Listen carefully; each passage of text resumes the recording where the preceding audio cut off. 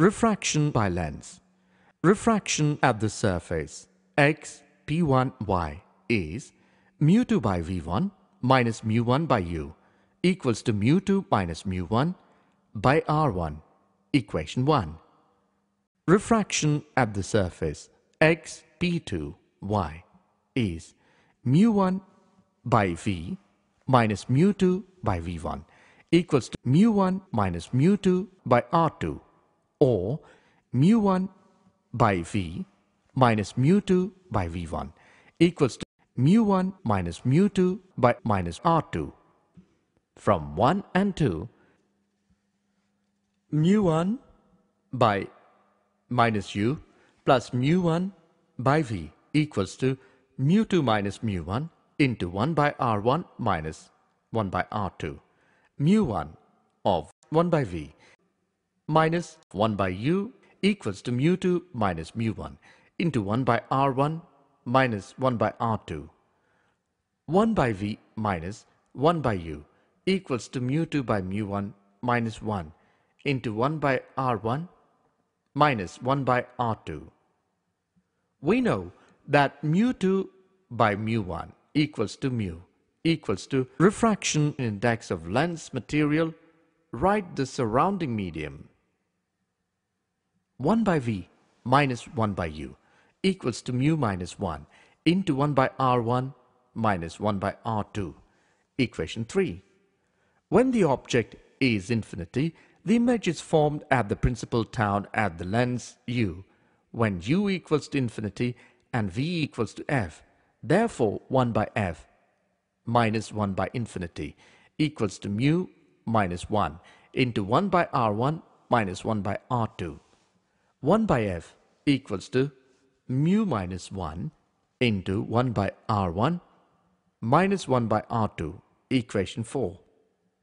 This equation is the lens formula connecting the object distance u, image distance v and focal length f of the lens. The power p of a lens is defined as the tangent of the angle by which it converges or diverges a beam of light falling at unit distance from the optical center. Tan delta equals to h by f if h equals to 1. Tan delta equals to 1 by f or delta equals to 1 by f for small value of delta. Therefore, p equals to 1 by f. Hence, the power of a lens is expressed as a reciprocal of its focal length. The unit of power of a lens is diopter, d. The reciprocal of the focal length of a lens expressed in meters is called the power of lens. Power of the lens P equals to 1 by f meters diopter. The power of a convex lens is positive and that of concave lens is negative. For example, if the focal length of convex lens is 50 centimeter, then the power of the lens is P equals to 1 by 0.5 equals to 2d. The concave lens of focal length 20 centimeter has a power of minus 5d. Important points. When two thin lenses of focal lengths f1 and f2 are placed in contact with each other, the focal length f of the combination is given by 1 by f equals to 1 by f1 plus 1 by f2. For convex lens, focal length is positive. For concave lens, focal length is negative. 2.